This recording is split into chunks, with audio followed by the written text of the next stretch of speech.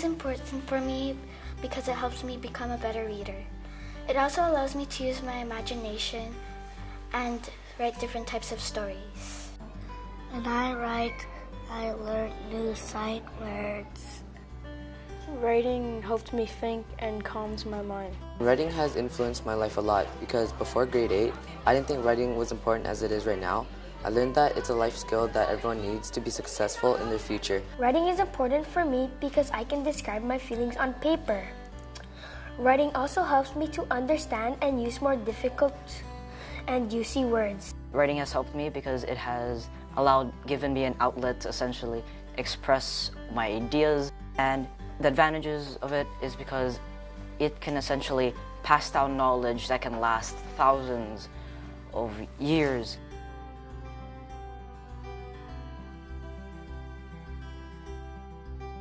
We were part of the Regie Routman residency uh, for three years. Sandy Figueroa was our lead teacher, and um, it helped to transform writing at Lord Nelson School. Students now work really hard with their teachers to create writing that has a real uh, purpose and is written for a real audience.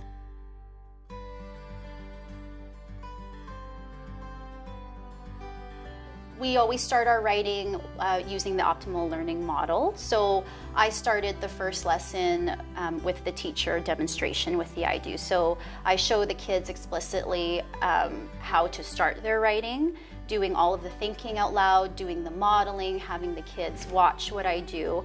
I think it's really important for the teacher to be able to think out loud so that kids can see what it looks like when you start writing. Shared writing includes everybody in the classroom, so everybody's ideas are heard, and then we write them down on the paper. I've been using the Regie Routman model to help my students become better writers and view themselves as writers. So the idea that if you can think it, you can say it, and you can write it. And getting all of our students to really understand that everyone has great ideas. As soon as we verbalize them, we're able to get it out on paper. We celebrate writing um, throughout the year, no matter what it is. Um, our students' writing is always celebrated by putting it out on the on the bulletin boards, and you can off, often see our families standing and reading the writing of their children and bringing the rest of their family because they're so proud of all the work that they've done.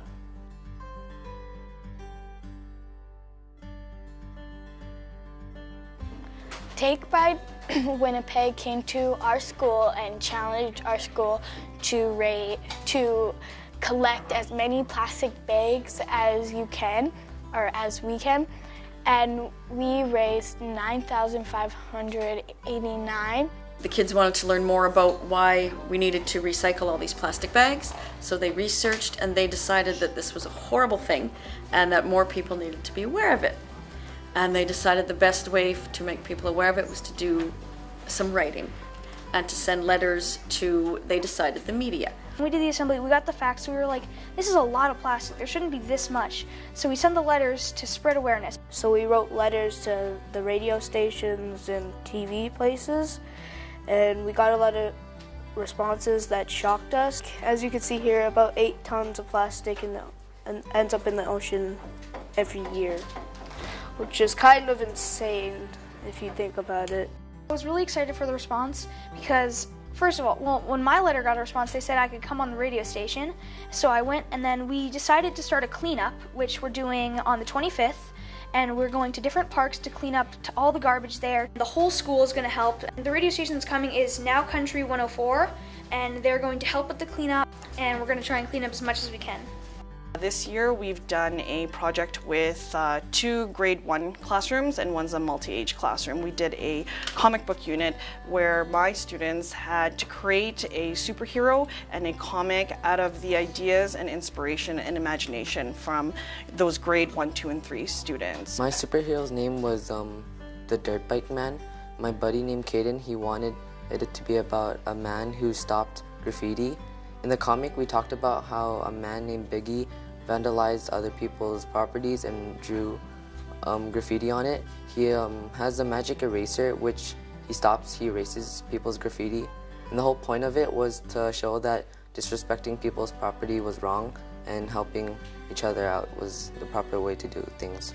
The superhero I created for my grade one was he has the ability to fly, as most superheroes do.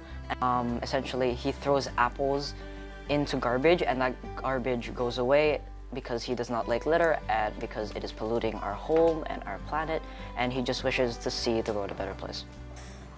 I am going to tell you how to take care of Earth. I will turn off the lights when I am not using them. Don't cut trees down. Don't litter. Wash your milk jug and put it in the recycling. When you are taking a shower, don't waste the water. That's how you take care of Earth.